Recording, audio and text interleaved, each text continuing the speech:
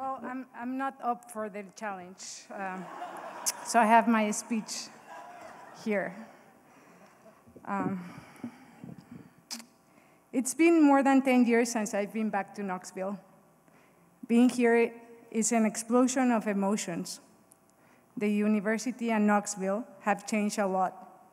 And even though it's been a long time since I've been here, the memories are still there, each one of them. I remember my first year of college. My English wasn't good at all, worse than it is right now. Uh, one of my first practices out at the range, I overheard some of my teammates saying, What are we going to do with her?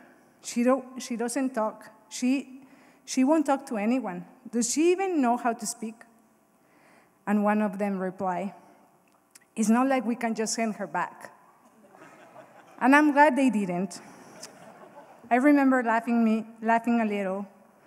And those were the moments, those were the moments that built this amazing adventure.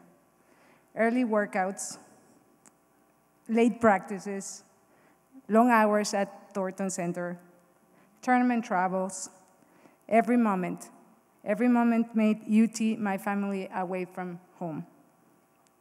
My teammates, my coaches, my tutors, my coach. They all taught me so many things in and out of the golf course. Now I know that golf was just the bridge to become a better person. I couldn't have picked a better school to grow up and to learn how to become the best student athlete I could be. I want to say a special thank you to my family all the sacrifices that they made. The time my brothers had to stay at home for me to, wait, to be able to play. And my mom, she had to be a mom, a caddy, an away mom, a psychologist, a travel agent, and so many things more.